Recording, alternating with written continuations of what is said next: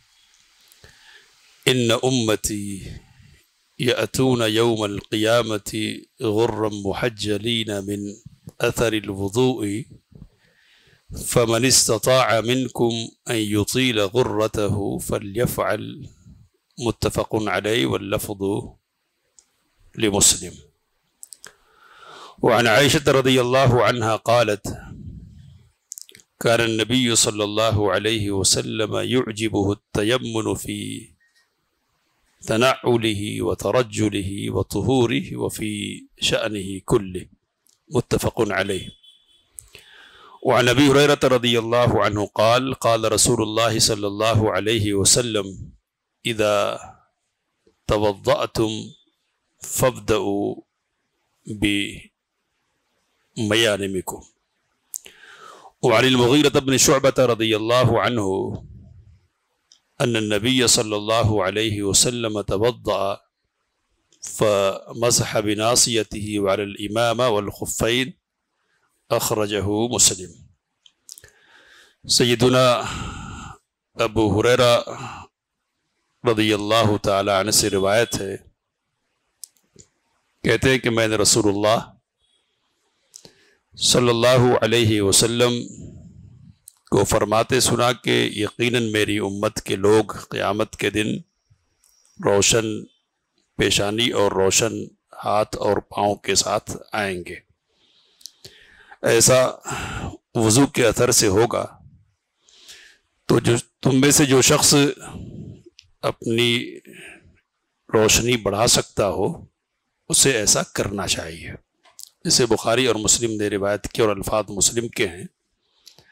सईद आशर अल्लाह तहा कहती हैं कि नबी सल्लल्लाहु अलैहि वसल्लम जूता पहनने में, कंगा करने में, वज़ू करने में और सारे ही कामों में दाहने जानब से शुरू करने को पसंद फरमाया करते थे।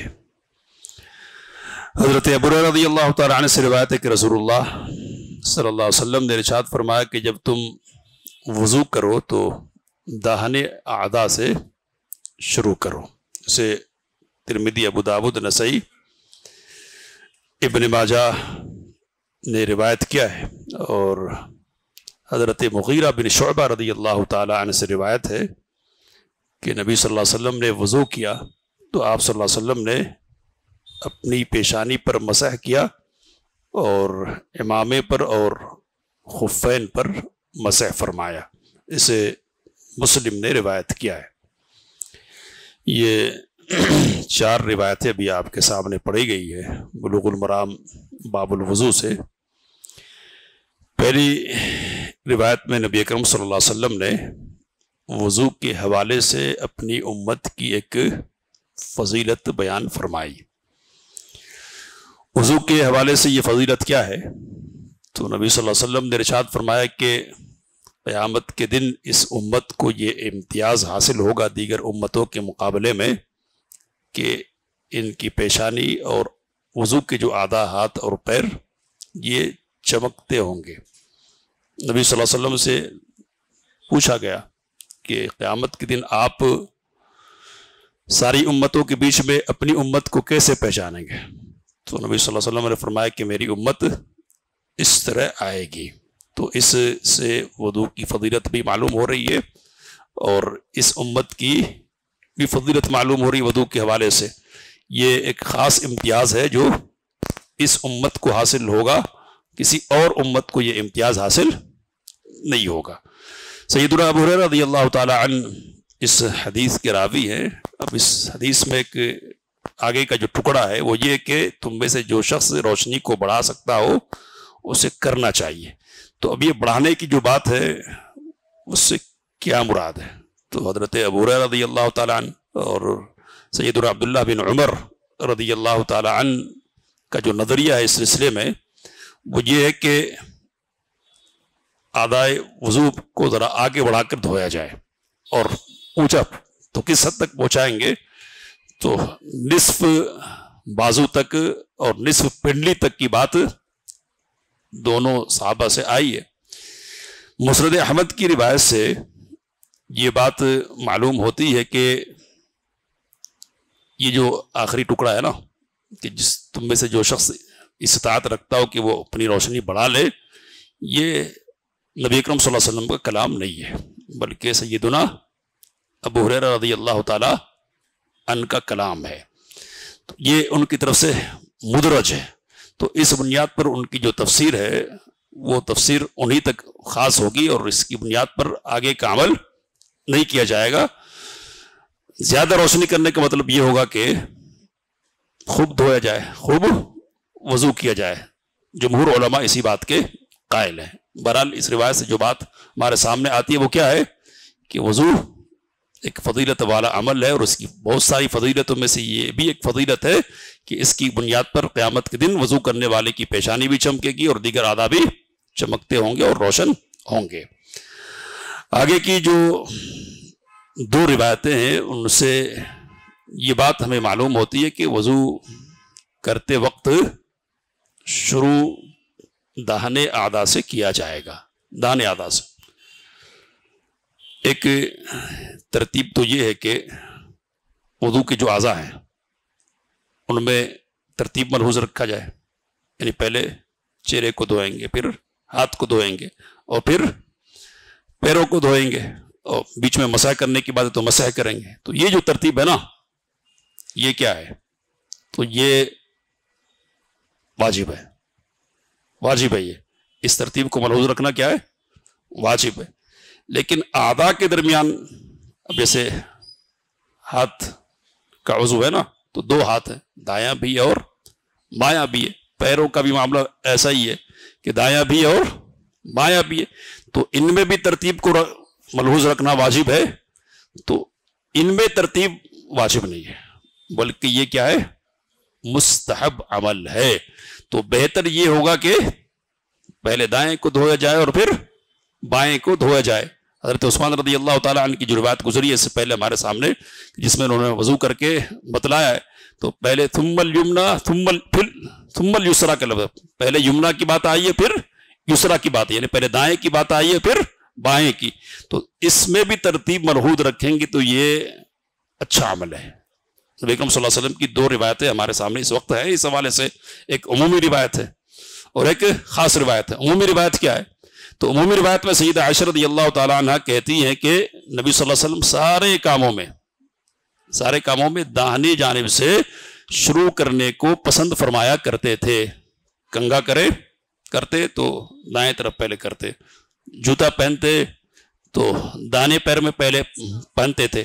इसी तरह विक्रम वसल्लम वज़ू करने में भी इसको मलहूज रखते थे। तो ये आम रिवायत और कहा कि फ़ी शान ही कुल्ली, सारे उमूर में तो अभी जो सारे उमूर हैं, सारे उमूर से मुराद क्या है? तो हज़रत इमाम नबी रहमत कहते हैं कि इस सिलसिले में एक कायदा जहन नशी कर ले। क्या है वो कायदा? कहते हैं कि इन मकान बाब तकरीम व तशरीफ़। वो अमाल और वो उमूर कि जो तकरीम और शरफ के कबिल से यानी जिनकी बुनियाद पर एक आदमी इज़्ज़त महसूस करता है, शरफ महसूस करता है तो वो काम अगर किया जा रहा है, ऐसा कोई काम किया जा रहा है तो उसमें क्या करेंगे?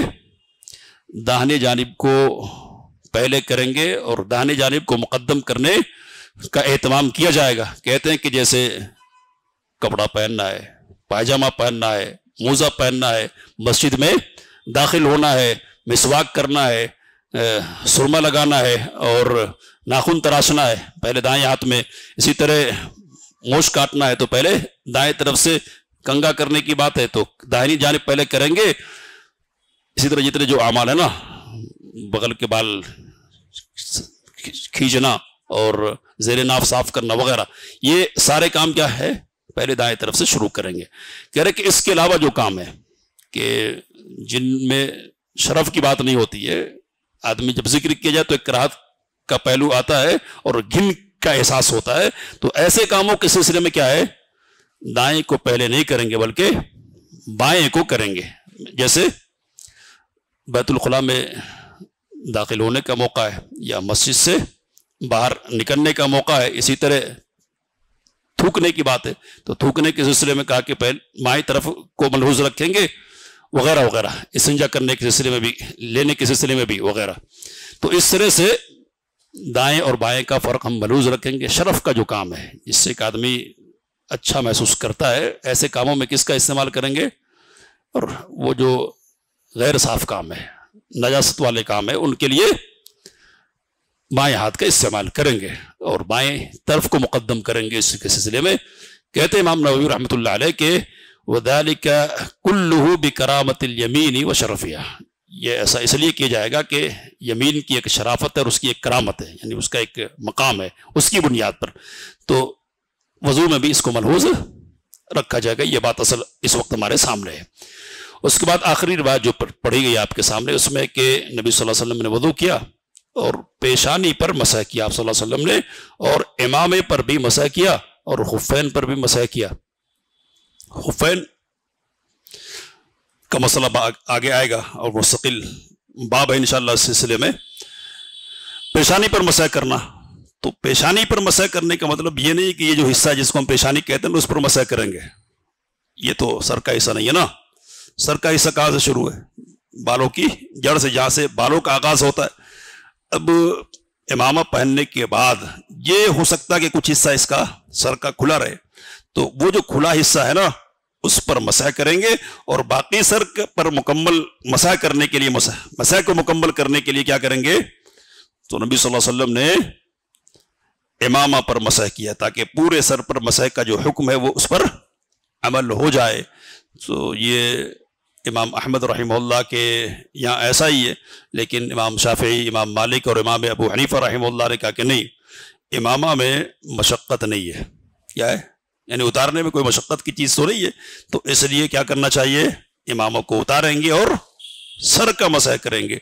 लेकिन ज़ाहिर सी बात है कि नस के मुकाबले में मशक्क़त और गैर मशक्क़त की कोई बात नहीं देखी जाएगी। सरी हदीस जब आ गई है, नबी कम वसल्लम से ऐसा करना साबित हो गया है तो फिर एक आदमी ने अगर इमामा बाँध रखा है तो उसको इजाज़त है इस बात की कि वो इमामा पर मसा कर ले। एक मोटी बात हमको ये बात मालूम हो रही है कि पूरे सर का मसा करना है।